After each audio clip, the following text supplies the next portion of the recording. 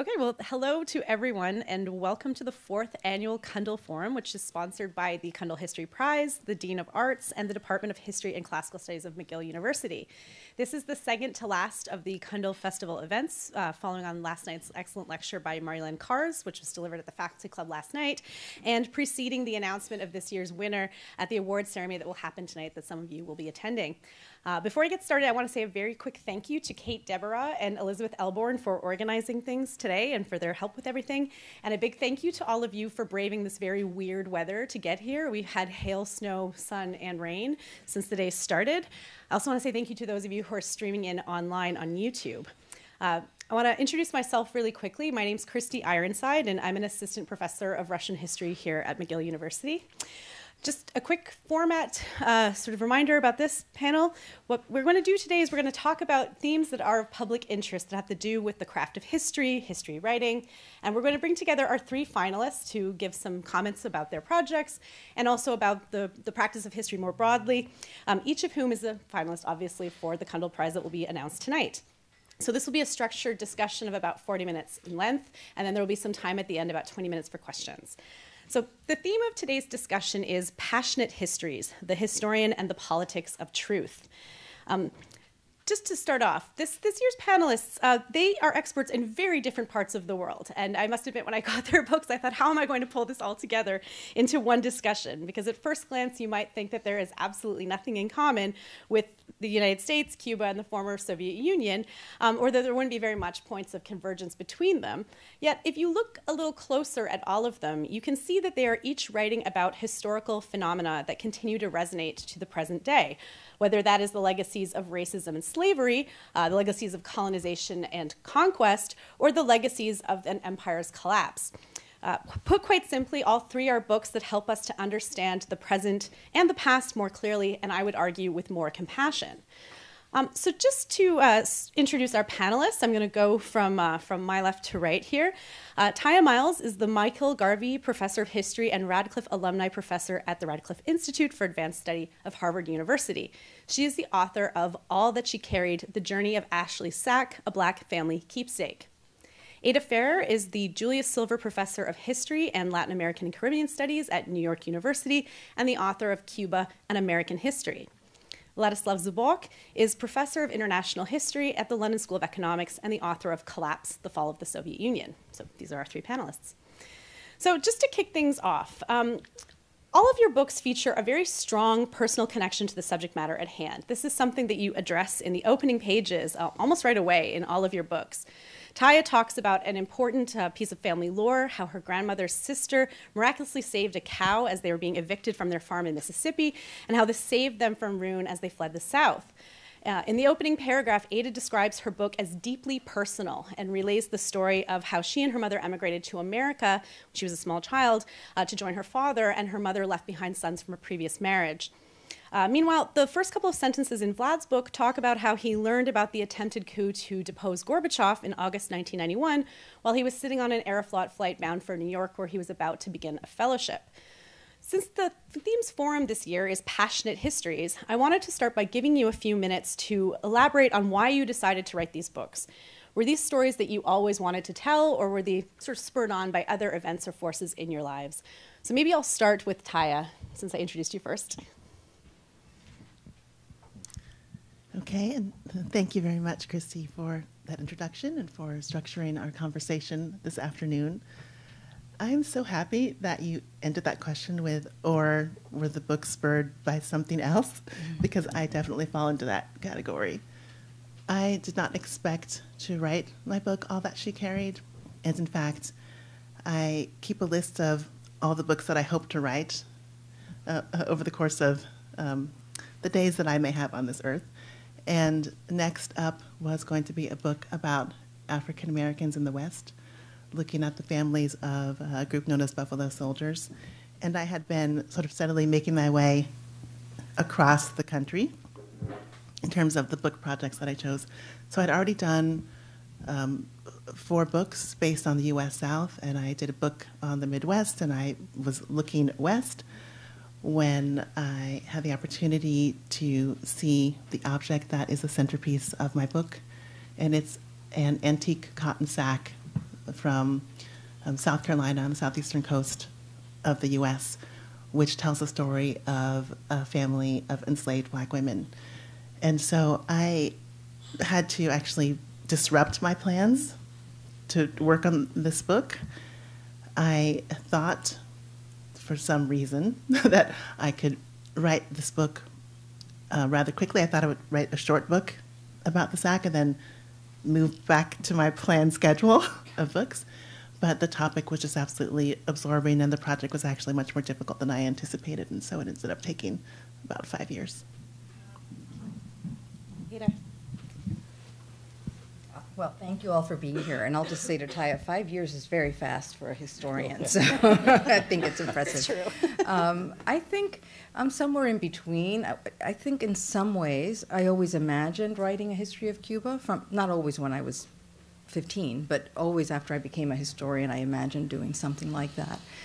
But at the same time, it was something that I wasn't initially that interested in doing, actually. I didn't think it would be um, exciting to write, and I always kept getting drawn in by other topics. But then a few things happened. I had finished two other books related to the history of Cuba. Uh, the first was on the 19th century wars of independence and the role of slavery and race in that struggle. And then the second book was about the impact of the Haitian Revolution in Cuba. So it was a book that was uh, about Cuba, but seeing Cuba uh, in Haiti's mirror, as, as Haiti's mirror in a sense. And then I had to decide what to do next. And so I did what I love to do best, which is to go to archives. So I went to the archive in Madrid, I went to the archive in Sevilla, I went to the archive in Havana, and I kept finding amazing documents and thinking, well, this would be good if I wanted to write a project on X or a project on Y. But I just couldn't figure out what that project was. And then in the midst of that, Obama opened up, Obama and Raul Castro announced the normalization of relations. And so I thought it was a new moment, a moment of re-encounter after more than 50 years between these two countries and these two people. And so I thought that the moment required a new kind of history. Uh, you know, a history that covered a long sweep of time, but that also allowed people to see each other maybe in different ways. A story, a, his, a kind of history where Americans, North Americans, U.S.ians, might see themselves refracted through the eyes of another. Uh, and also a kind of history where Cubans might look back on their, his, on their own history through the eyes of each other with less rancor and less polarization and less division. Then, of course, you know, we can never predict what happens, and Trump was elected, and that path was the path of reconciliation was abandoned. Mm-hmm. Um, so yeah. Vlad. Okay, well, fantastic opportunity to address so many people on the subject of something that no longer exists, the Soviet Union. Well, uh, but I lived my life there, and it was not not particularly unhappy life, I should say. Uh, so uh, since that time, I moved to the West. I began to write books, and uh, I guess dated back to 91 when I first thought, you know, I hear all kinds of comments about why the Soviet Union collapsed, but I, they don't convince me, and I'm confused. So I remained confused for almost 20 years until I decided I should put an end to this confusion, because meanwhile I produced books on the Cold War, and they kind of bumped into the end of the Cold War as an obstacle, because most of the authors on the Cold War, and they say, oh, the Cold War ended, the Berlin Wall collapsed, and by the way, the, then the Soviet Union collapsed as well. Boom, the, the end of the story. So I found it kind of slightly upsetting. Uh, I also wrote a couple of books about Russian intellectuals, about their life, how they suffered under Stalin, how they hoped under Khrushchev, you know, how they got bored under Brezhnev. And then the Soviet Union collapsed. So you know, the Soviet Union collapse was kind of you know, an obstacle that always stood in the way that somehow should be either removed or explained. And this is why I began to do it, and uh, it, it, took a life of its own, as always. And uh, I spent 10 years of my life on this uh, book, doing other things, of course, like all of us, uh, teaching and, and, and, writing other things. But, but then, you know, when I was finishing the book, I told some people here in the, in the audience, I realized, hey, you know, Ukraine is sort of becoming a, a, a place of trouble. So if you, if you ever get to the end of my book, four, page, four, four chapters of last chapters of my book are imbued with this concern about Russian-Ukrainian war.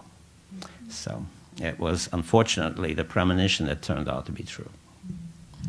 Just as a, follow-up question for all of you, and you can answer in whatever order you want to this time, what are some of the challenges involved in writing topics that are deeply personal, as Ada puts it? How do you write yourself in or know when to take yourself out of the narrative? And how do you sort of navigate maybe personally troubling terrain?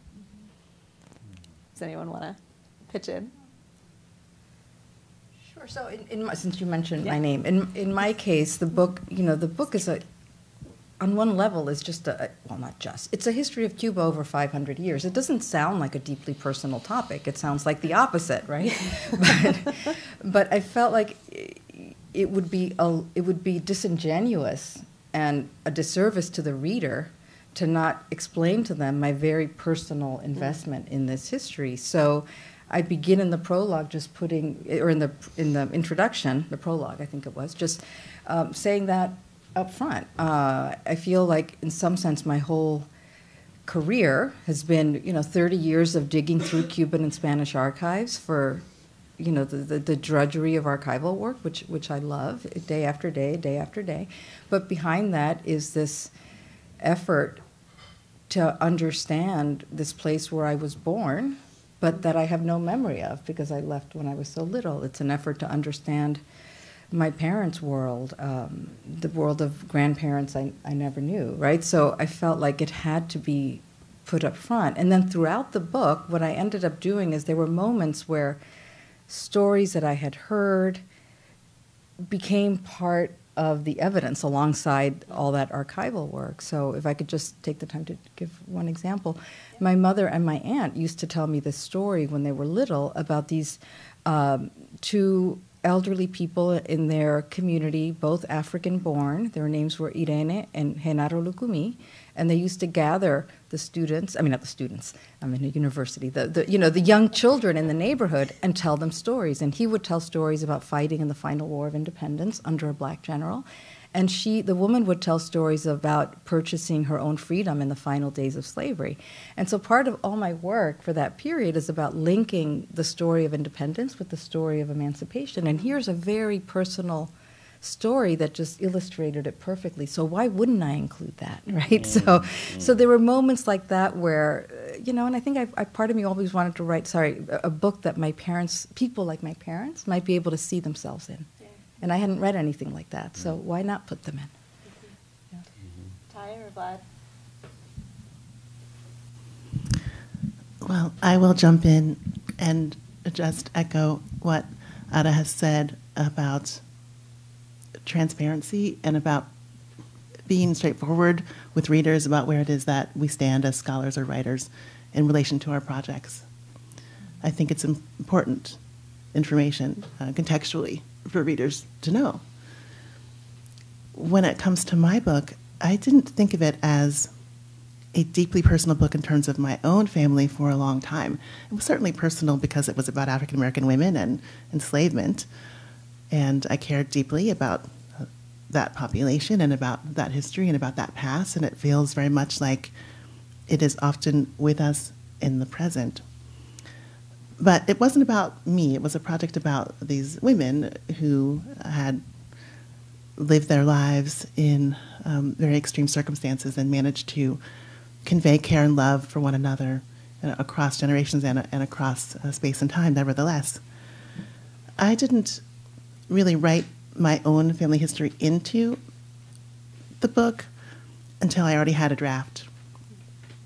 And I was giving presentations about the material in progress, which is a really wonderful uh, way to work through material, I find, to, to, share it and to be vulnerable with it and to get feedback and hear what people say. And I received feedback from people, especially in Africana studies, about the parts of the presentation based on the book in progress that spoke the most to them. And they asked me if I would take the step, which actually felt like a risk, of writing more about spirituality. And they also asked me to write about my own family. I mean, they said, Where is your family in all of this? Mm. That's when I went back and wrote a new introduction. Well, Kristy posed an interesting question how you, how you put yourself in a book and yet uh, take a distance from the book. And I think it's, it's part of our craft to do so because, um, on one hand, you know, first, first pages of my book may be deceiving because I insolently put myself in front, you know, hear me sitting and flying and doing something. Uh, you know, the rest of the book is not like this. Uh, the rest of the book is more back to my Soviet upbringing. Don't stick out your neck, you know. Be objective. Follow the Marxist-Leninist structural analysis. No, no, no, not not all this. I followed, of course, but uh, indeed, uh, I was there. I was there through Perestroika. I, I uh, was passionately involved in all this. I organized uh, discussions of uh, Nazi Soviet Pact uh, with the, KGB agents sitting in the room. I mean, I can take, you know, talk a lot about this. But then that I didn't want to describe because I knew this would be my story and people like myself, a very segmented group. What I really wanted, I wanted to learn the rest about, well, to the best of my abilities, to learn the rest about that enormity of the collapse of a country, the Communist Party, the state, and so on and so forth. So I privileged actually other stories, even the stories that I never before wanted to privilege, so-called hardliners, you know, going into the stories of so-called reactionaries whom I passionately had hated uh, 30 years ago. I mean, what was their motivation? The coup leaders, why they didn't use force, and so on and so forth. And that was unusually uh, difficult. I should say, because you have to kind of step step over certain prejudices. And this is in part why I'm saying it's good that I wrote it 30 years later and not uh, 20 or 15 years later, because I guess time time is uh, is a wonderful med- uh, you know medicine. Not for everyone, but uh, historians definitely benefit from from this you could not have provided a better segue to my next question, actually, uh, which is about an ongoing discussion that a lot of historians are, are, having of late about the sort of benefits and disadvantages of a very presentist outlook. That is, you know, writing the past, interpreting the past through the values and concerns of the present. Um, I'd love to hear the panel's thoughts on this. Uh, how much should historians and history books relate to present day concerns and uh, and maybe putting the question a little bit differently how do the news or sort of the things that are happening around you just affect you your research and your writing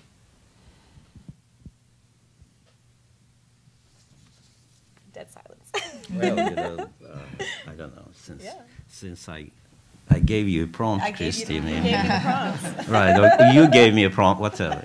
Yeah. Um, well, I keep thinking about the, the first historians that, that we remember, Plutarch, Thucydides, and others. Why are we still reading them at all? Because, uh, you know, they reflected passionately sometimes uh, the interests of their time. People continued to read them. As a result, those works continued to be copied by hand and passed to us. So that, that would be um, it's almost essential to address the public in one way or another, even if, if you sit somewhere very high inside the ivory tower. And I think uh, I would contradict myself a little bit. I said I tried to pull myself out of the book, but let's say I failed. Uh, in some way. In, in some way, I decided this is my book after all. I should not be that Marxist Leninist or whoever, whatever objective. I don't believe in objectivity. I'm a human being. And uh, it, it, was, in a sense, uh, a combination of both things your, your own emotions, your, your own vantage point. I maybe delude myself when I say, you know, 30 years helped me to take this huge distance. That I, I, I, don't say like most of my countrymen that Gorbachev was a traitor and, uh, and the destroyer of, of, of the great state. Mm-hmm. but it also helped that I lived in, in, you know, on the other side of the world, in the United States and, and, and England. So distance in every sense is, is, is healthy and salutary, but at the same time, I don't, I don't believe that anyone can uh, remove oneself totally from what, you know, from history especially. Does anyone else want to weigh in? Oh. Just your comment about it's good to have had 30 years to write about it. I remember one time walking in New York City on the way to the New York Public Library as I was working on this book, and I suddenly thought to myself, I want to live to be 97. Mm. Because if I live to be 97, that will be the 100th year anniversary of the Cuban Revolution, and maybe by then I will understand it. so, anyway, um, so I do think that you know that distance is good, but I but I also think that that the present always, or almost always, no, always impacts what people are interested in. It's it's it's unavoidable and that's a, that's a good thing. I mean, if you think about the you know the, the, the field, say, of environmental history and how important it's become, is, is some of that due to you know people's correct and growing concerns about about the about the planet, right? So it, it's I feel like it's it's unavoidable. At the same time, I don't think that historians should go out of their way to force a connection to the present when it's not there. Yeah. So rather than you know, than state an absolute rule. Historians should or shouldn't. I think it varies a lot by by topic, by what the historian's trying to achieve, but that inevitably the the present impacts us all. It's it's it's where we are. It's where we think from. It's where we see from. I, I agree with all that's been said, Kristy, and I think the example of standing on a street in New York City in a present moment in time thinking about a past event and how you wanted to understand it better in the future yeah. encapsulates the complexity of what history means for us as human beings. I mean, history has an expansive time horizon for us. And I think it's not just natural and expected, but I think that it's important for us to recognize that and for us not to pretend that history is only in the past somewhere and doesn't affect us today. I also am never really sure what is being charged when someone says, aha, presentism. Excuse me for pointing in that direction. That's not, not toward you. Um, I don't know if, if what is being charged is that the person has used the values or politics of the present to understand the past, or if the person is connecting past events and motivations to present day issues. I think that the first relationship between our work and the present is one that we need to be very careful with. I don't think that we should look at the past as, as if it's today because it's not. Mm-hmm. But the past affects today. Excuse me, the past affects today, and I think that we should be using whatever skills we have or whatever knowledge we have to bring it into the public square to help us think about our current circumstances. Uh, so the sub theme of this is the politics of truth, and of course, uh, you know, no better place for politics is social media, popular media. So maybe I'll take the discussion a little bit in that direction. Um, more historians than ever before maintain very visible online presences and often disseminate their research in this way.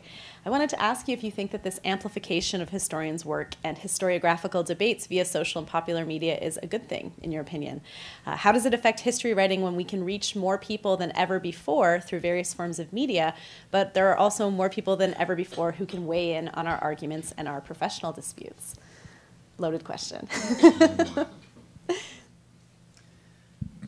Okay, I'll jump in because I probably have the least to say about this. Um, there are some people in the room who who know that I am I am just really really negligent um, when it comes to my social media accounts. I hardly ever go there.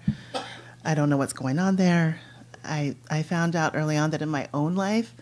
I couldn't maintain the intensity of keeping track of those accounts and those conversations.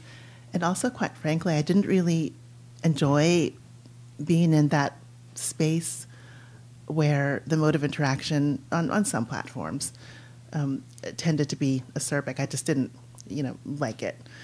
So I don't, I don't know a lot about it, but I, I can say that I know people who do engage on those platforms, scholars, um, professional and, and otherwise, who engage in those platforms, who enjoy it, who learn, who know things way before I know them, because they're all connected on these platforms, and it, it furthers their work and enriches their work.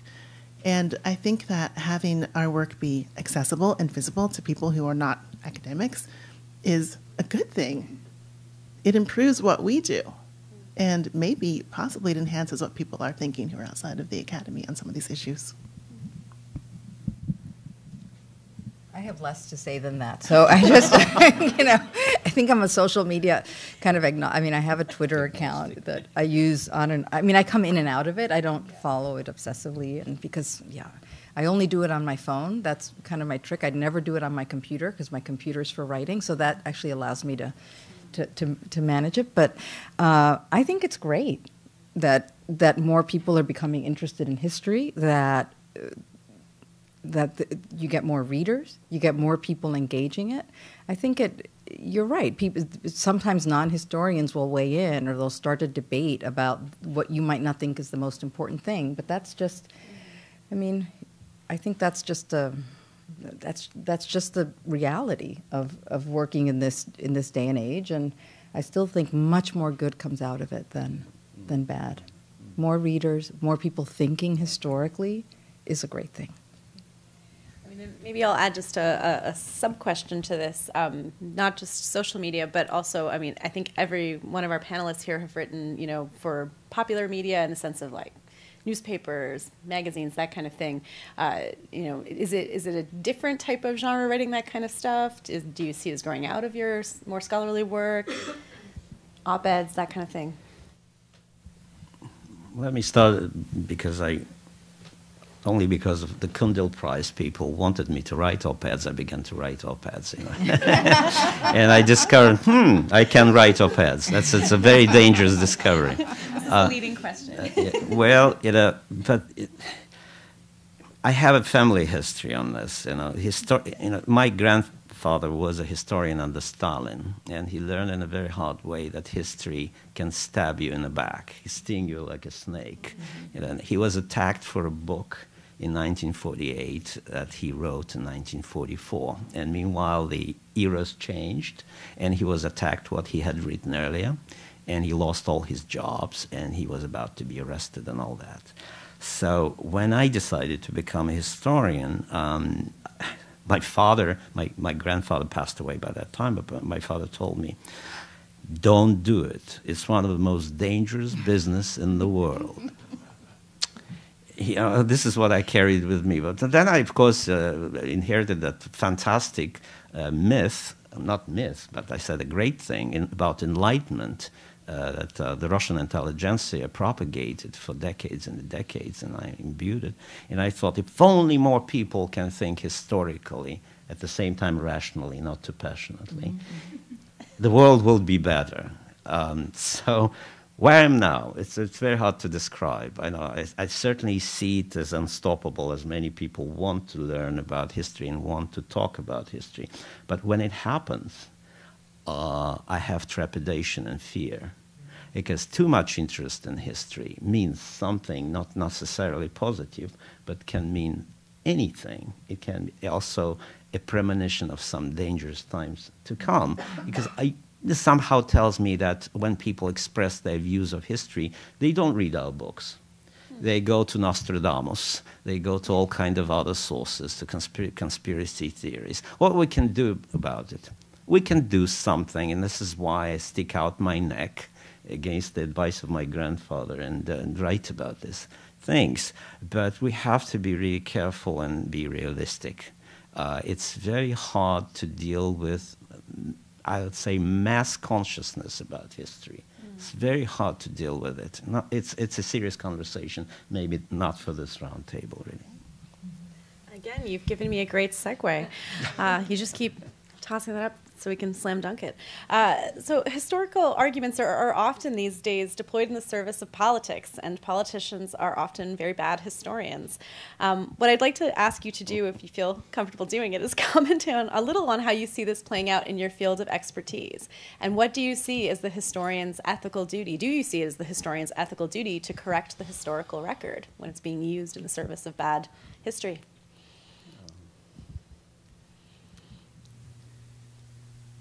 So I, I really have to say that this conversation is so interesting to me that I wish I wish we could slow it down. Know. You know, talking about time and yeah. and you know open up all the comments a, a little bit more. Um, Vlad, what you just said about history can stab you in the back and it can sting you like a snake. I'm going to leave Montreal with those words, you know, uh, on my mind because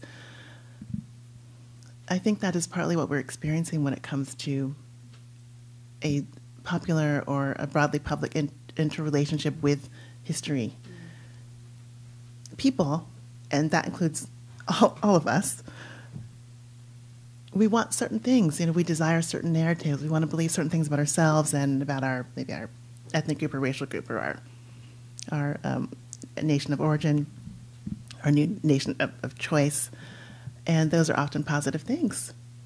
And the past can sting you like a snake, right? so um, that's where the tension and the conflict comes in, I think, between the, the desire that we have about what history consists of and the reality that actually might exist in the archives and in the records. And it's trying to navigate and negotiate mm-hmm. that tension um, that is very difficult. Mm-hmm. And uh, I, I want to just slip in here, too, that I don't really feel that it's an historian versus a non historian uh, kind of a, a, conflict or tension or disagreement. I only feel like I'm half a historian, and maybe I shouldn't say this, you know, among Cundill Prize finalists, but I have an interdisciplinary approach to the work that I do, and um, I feel that it is much literary and psychological as it is historical. And there are many people who are not in ac- academic positions or roles who are very serious historians who know much more than I do about um, even the topics that I write on.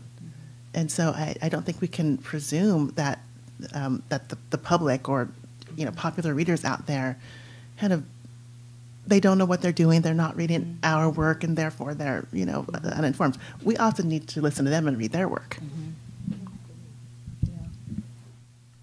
Yeah, I mean, I, I agree with, with everything that's that's been said. Um, you asked about how, what how this might be applied in, in our own specific field, so yeah. I don't know. I mean, um, I feel like, at least in the, you know in the case of my field, I'm sure in the others that it is important to have the voice of historians, whether they're academic historians or professional historians. But um, you, it, it's important to have good history uh, passionate, reasonable history, as, as Vlad said, be part of the conversation. And I feel like in the, in the case of Cuba right now, I don't know how much you know you all are following stories, but it's a really dire situation there right now. And in the midst of a dire situation, people make historical arguments or make certain historical assumptions that are very, very dangerous. Mm.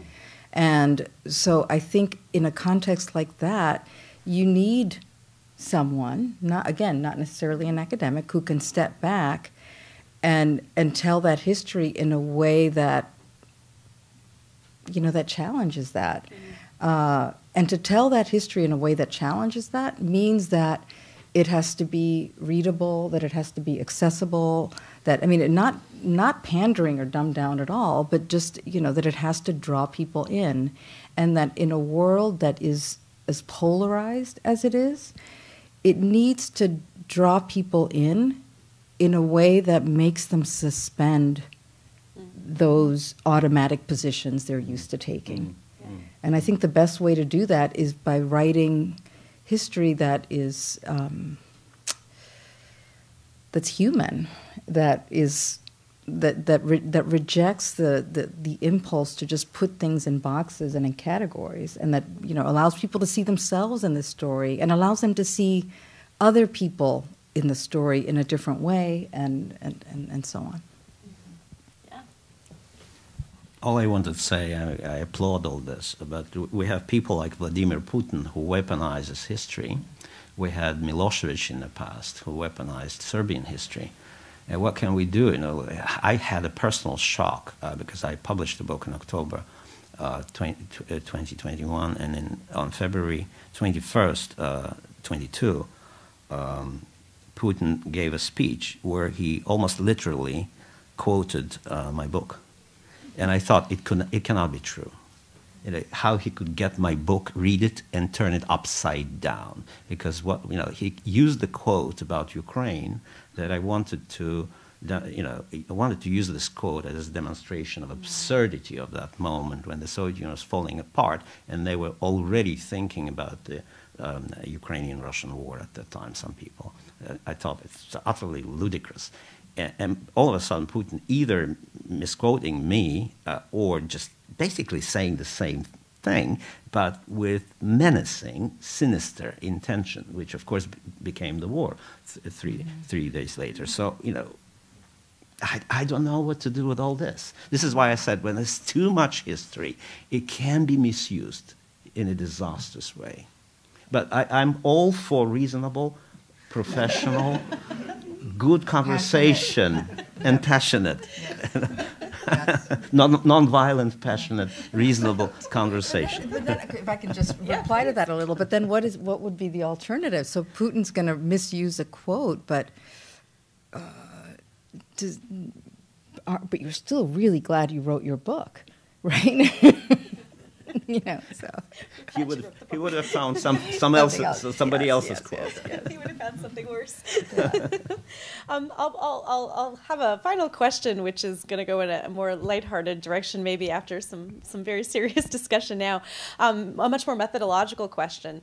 All of your books are being considered for the Cundill Prize because of their enormous readability, uh, their ability to break down complex topics and distill huge chronologies for non specialist readers. And just to give the audience a sense of this, Tiya's book covers well over 100 years, Ada's book covers hundreds of years, and Vlad's book covers a few years, but they might have felt like several hundreds of years because so much messy stuff happened in those very short years. Um, so, my question is how do you tell very complicated and, and stories in, in a compelling way without sacrificing? Focusing on details and nuance. How do you know what to leave in and what to uh, take out so as not to overwhelm the reader? Well, I think that the discussion just a moment ago already started to, to answer yeah. that question. I love Ada's language of telling human stories. That is certainly what I'm in it for, what I think we're all in it for. We want to contribute to to the good of humanity and I think to the good of the world, you know, human and non-human, and, and you know, we do it um, through the ways that we have have come to feel committed to and have come to feel skilled in, and that's through historical work. There's so many other ways that mm. that you know we might do it. I don't think there is ever a project that doesn't involve sacrifice, Kristy. I mean, we, we can't ever do it all, and so some things do have to be traded in favor of others. And um, in the case of my book, which I really did want to write in a way that was very open armed and welcoming to all kinds of readers, um, what I ended up doing was not starting the book with, I think, the 30 pages of colonial history that I had originally drafted. Because um, even though it seemed right to me, and it seemed chronologically sound, and it seemed to make perfect sense to begin um, in Charleston in the late 17th century. I thought that there were a number of readers, including my own family, who would go to page one and say, This is not for me. and so I had to, to really rethink how do I open this book? How do I open the doors of this book so people will want to walk in? And then maybe I'll sneak in you know, I'll sneak in some of the earlier material later. And that's what I ended up doing. So, I mean, we could call that a sacrifice. I did lose pages in addition to losing and some detail, in addition to losing the, the certain placement of um, events and time in the book. But I think that it is a real gain in the end, especially based on feedback that I get from people who refer to um, the very beginning of the book, which is which begins with um, a novelist, an African American woman, a science fiction writer actually, uh, Octavia E. Butler, and then talks about uh, my family, and then moves into actually um, a, a 20th century figure from the family that I write about, and then finally kind of moves around to saying, and let's look at where this all began. Yeah, I, I as I was writing my book, I mean, I'm, i was trying to cover more than 500 years, so I, you know, I left out more than I included, I think. And as I was writing, I had a, I kept a notebook with things as I realized that I had left out, but I might want to go back and include. So it was called mm. "Things I'm Leaving Out," you know. Mm. Um, and I so so there is that that sacrifice, but I think that. I, I sometimes, when people talk about, you know, sacrificing detail or they talk about detail as extraneous, there can be obviously extraneous detail that's not necessary to move a story along. But I love writing in a way where the arc and the narrative is built through those details, right? So that the, the, the, narrative itself is analytical and the analysis is driven mm. By the narrative. So it's not that there's an analysis and then there's an example. So that's that's how I how I've always tried to write. And so and it, I found it really fun actually to do it um, in this book.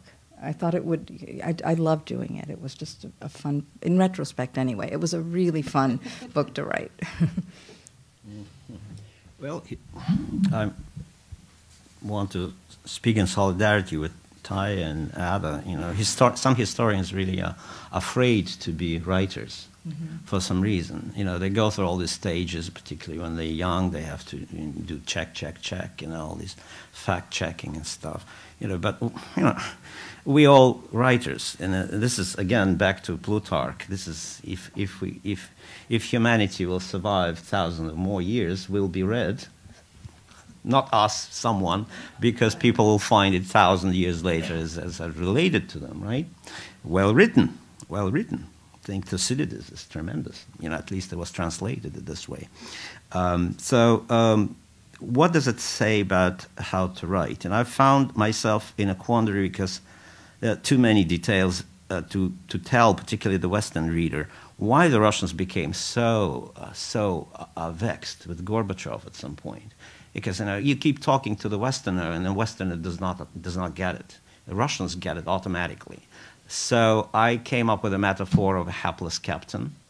And here you go. You have Ahab and Moby Dick. You have, you know, Hemingway, the man and the fish. You know, the man who's on, on something on a voyage it's pointless how far you go. You should catch the big fish. And then it kind of resonates with, with people because, you know, we should read great books. Mm-hmm. We all love great books. And historians should always probably read great books every morning instead of, uh, you know, with coffee or without coffee. So uh, I always had this image of uh, from Gabriel Garcia Marquez, one in Hundred Years of Solitude. It starts with Buendia standing in front of the firing squad. So every book should start with these great lines in a sense. What's in there that makes people uh, fight and die without fear of death? You know. Well, that is the end of my questions. So I want to open up the floor for some questions from the audience, and I want to give you the caveat that I've promised them that they can go home to change before the next event. So I'm going to try to keep this to 20 minutes. So please make your questions brief. Does anyone have any questions in the audience? Yes. Can you stand up so it's easier to see? Gershon. Sorry, you're in the light, so I can't see you at all. uh, thank you for your uh, remarks. I enjoyed the discussion. And it, it sort of, the, the first half uh, seemed to focus on where dispassion bumps up against the person who's actually driving. And I wanted to ask about evil and what you do when you find it and what you have to talk about and how you address that problem? Big question. well, thank you. Thank you for that question. Oh, oh, sure. Kristy, do you want to Oh, repeat the it? or- question was, what do you do when you encounter evil in your research? How do you deal with that as a topic? I appreciate that question um, quite a lot. I feel like my research swims in evil. And um, on the one hand, part of the process has to do with facing that and being willing to try to understand it. I really appreciated what Vlad said about how hard it is to take the opposing group or the opposing view of your history and to actually try to look at it or them with fresh eyes to try to understand them. I mean, it's part of our charge to do that, and um, and we must, which takes us to some very dim places. And there's also the reckoning with evil that is the emotional and and kind of um, the the psychological part of the work, which can be very difficult to bear, and I think it requires conversation and and community and um, processing the work, as I was saying earlier, with others, uh, with feedback, not alone, to help to move through those shadowy spaces of the work. I definitely find myself asking all the time how can people do this? How could they have done this? How could people be so brutal? How could people be so cruel? How could they sell their own family? How could they disavow their own children? And my only answer to that question is they have, which means that we have, because we are all one species. It means that we, we have the capacity for great wrong. And I feel that knowing that means that we have to make it a part of our charge as scholars, thinkers, writers, you know, artists, teachers, whoever we are, to try to redress that wrong in the work that we do. Do either of you want to weigh in, or should I move on to the next question? Well, beautiful is said, really, and very emotional. And I want to segue to this because my, my task was not to write about evil. My task was to write about Gorbachev and his entourage, who, whom I, I rooted incredibly at that time. And I thought they were the, the expression of goodness. And so did many people in the West. So my task was quite different. Uh, how could they do good things, or let's say, bring change Russia, change Russian people? Who had seen so much evil in the past. And but well, let's say under Gorbachev, there were all, all kinds of evils, but not on Stalin's scale, not on Hitler's scale already. But then I was follow, I was following Gorbachev and sort of seeing him trying to. Uh, be good through nonviolence. Yes, I understand it's Gandhi and all these examples in the past, and I see him failing again and again and again. And I was so emotionally affected, eh, but a couple of times I really almost threw my laptop against the wall. No, uh, it was, was just emotional reaction. How you can do it without using force against at least some bad people. Okay, why are you doing it? He was a man of principle, I guess. This is in part why he failed. Yeah, I, I feel like mm, mm, there's evil all over my book. You know, there's there's this the, the conquest. There's uh, tremendous, uh, you know, almost unspeakable, un, well, unspeakable violence against uh, indigenous people, dispossession. There's the evil of slavery. So it's, I, I feel like it's it's everywhere in the book. So the question is how to, you know, your question about how to redress it or how to how to address it and redress it, uh, because the I don't think the book would work as history if all we did was po- point out to the evil and call it evil and, and, and leave it there. So part of it is understanding it, and part of it is understanding life's lives lived in the shadow of that evil. Right. So it was evil, but that was where you know how people lived with that evil day to day and so shining a light on how people live so just uh, there's an, uh, th- the example that came to mind right now was a, a story set in the a, a chapter set in the 19th century on a on a Cuban sugar plantation that was owned by actually by a Rhode Island senator who was also a slave trader uh, and who had you know, who at one point was um, uh, tried for murder of a woman he killed um, on a slaving voyage. And he owned, he and his family owned six plantations. They lent out their torture instruments to neighboring um, plantation holders. But reading letters um, from visitors to the um, to that plantation, I came across this one mention of the way that uh, enslaved people in their quarters used the light of glowworms as candles. So mm. it's just it's just like a literally uh, like an ember, right? But it it it takes you into a space where people living in that evil aren't defined by that evil, right? So I think that's part of how that's part of how we do deal with it. And then the other part is that when I got to the part on the Cuban Revolution, again, where opinions are so polarized, it's I almost had to because out there what you have is two sides calling each other evil, right? And what I tried to do there was really to just kind of step back and get people and again I keep coming back to this, but it was so important for me get people who might be in opposing camps to at least for a moment understand why this camp was doing this and why this camp was doing this, right? The, like trying to get people.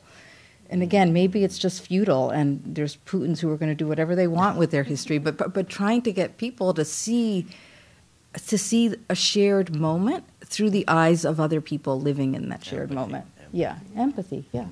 No, it's not futile. It's not yeah, futile because for, for every Putin who might be misquoting, you know, for the purposes of evil, there are people who we may not see, may not know, who can use the work to shine a light, you know, in, in their moment of chaos or distress. Yeah. I love that language. Yeah. yeah. yeah. Another question? I saw another hand before.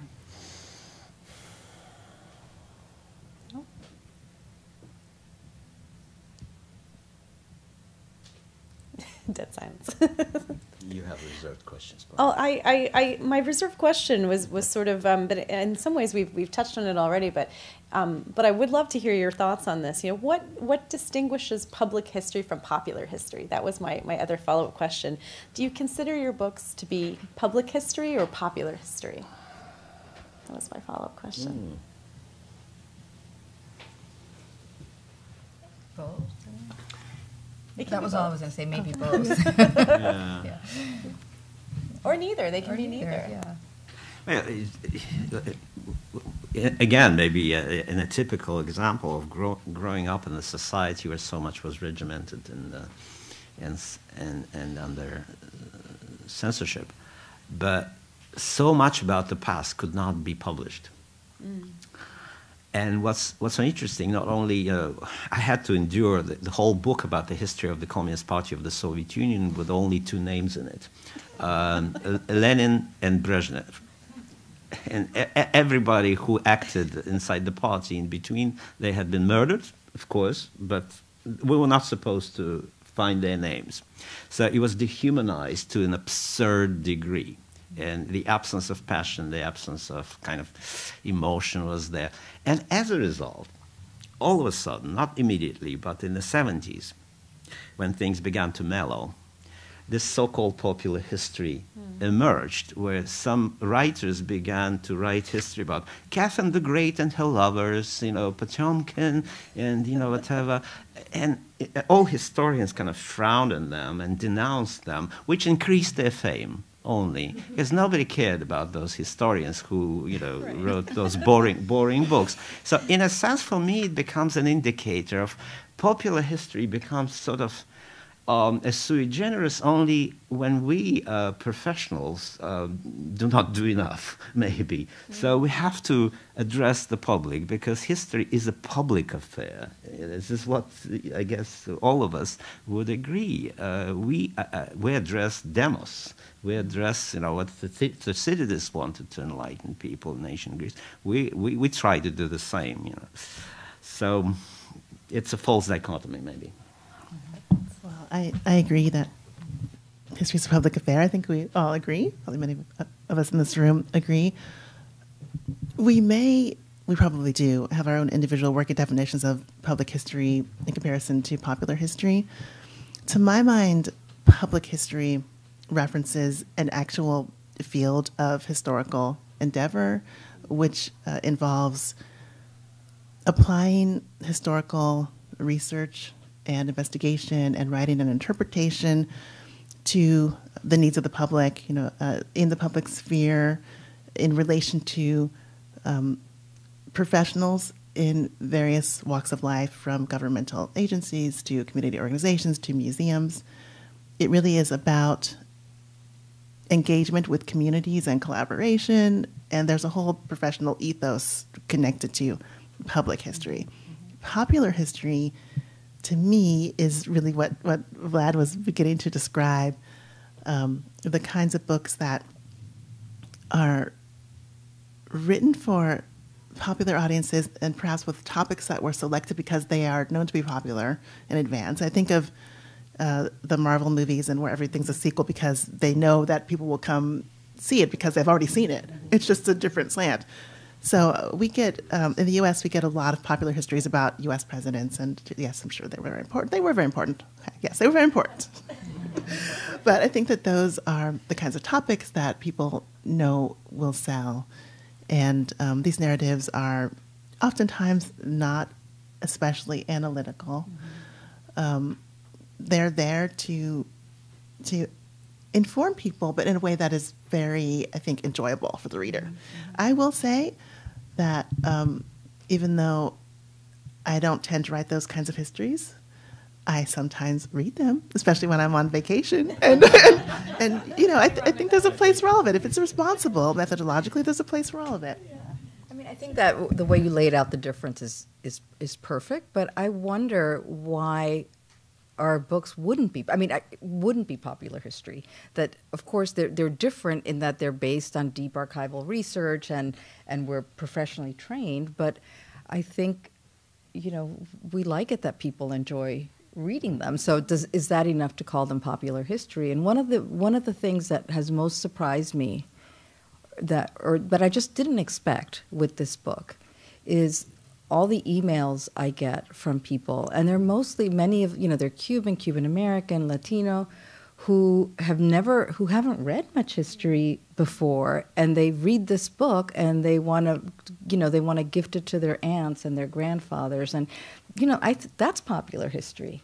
But maybe it's for maybe those people aren't reading the David McCulloughs and the you know the the biographies of all the presidents. So so I think yes, they are they are they're two discrete. We think of them, and they are two discrete bodies of work. But I don't think I think we can define them in ways that are we can engage them in ways that are more porous.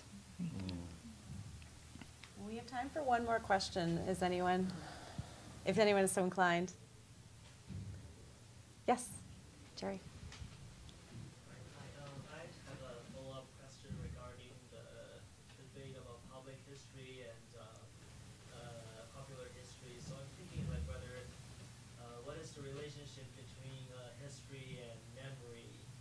professors that your book are all uh, on modern history, and then there's a lot of people today they are living through that kind of historical moments. So I wonder, like, how is your history, or like, how is writing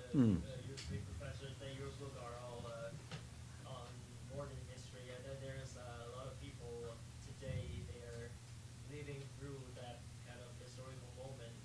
So I wonder like how is your history or like how is writing history uh related to the the ideas of memory and um, how did whether is whether the writing history challenge the memory, the collective memory of certain Hmm. the, the kind of a collective memory of the people.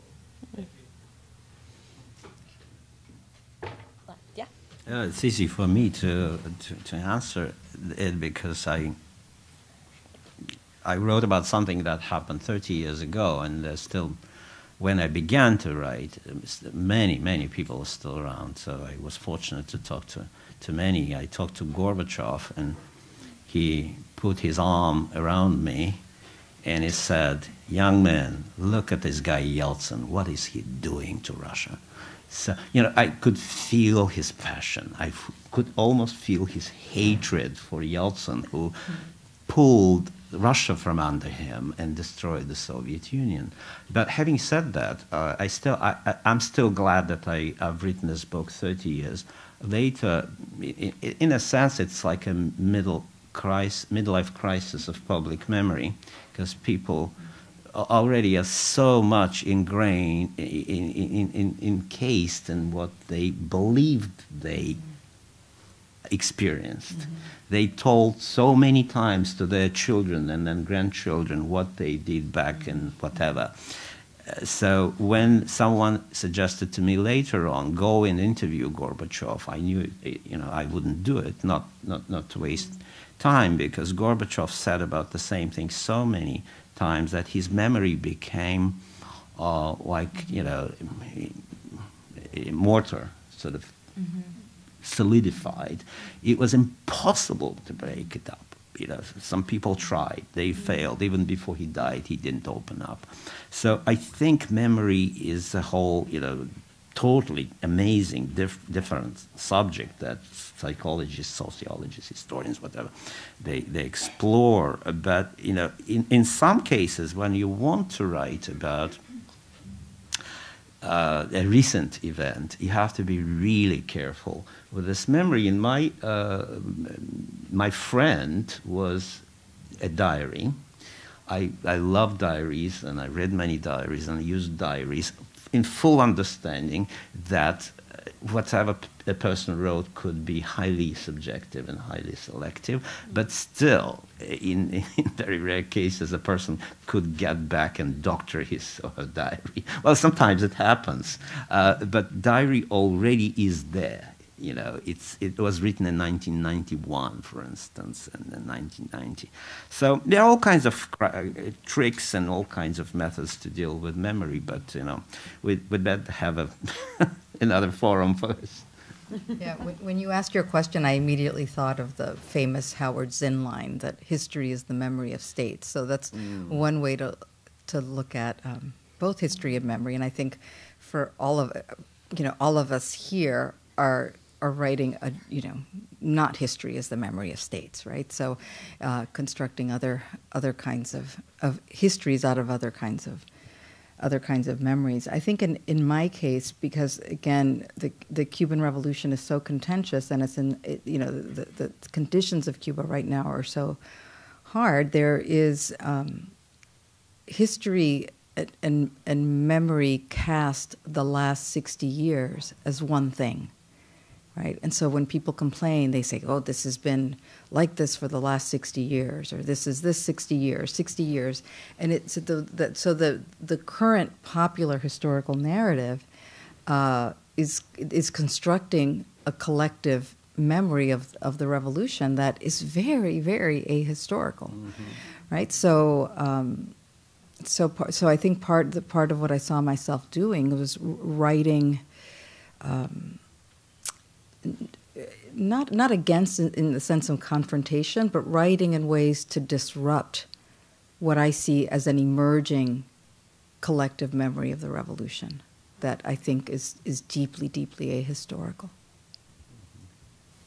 So I agree with with what's been said, and I also appreciate the question because it is tricky sometimes to disentangle memory from history. They're not the same thing but they overlap and they they uh, abut one another often, and especially in projects where um, the focus is on marginalized peoples or groups who didn't have the opportunity, the wherewithal, um, the respect to keep his, to, to create and to keep historical documents that are uh, oftentimes the focus of histories, we have to rely on memory.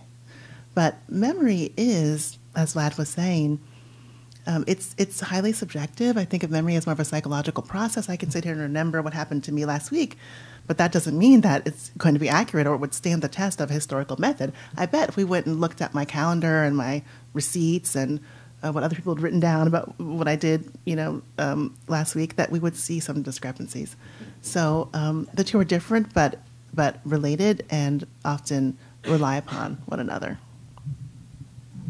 Well, with that, I'm going to uh, draw the forum to a close. I want to give a wholehearted thank you to our three panelists, Tiya Miles, Ada Ferrer, and Vladislav Zubok. Uh, tonight,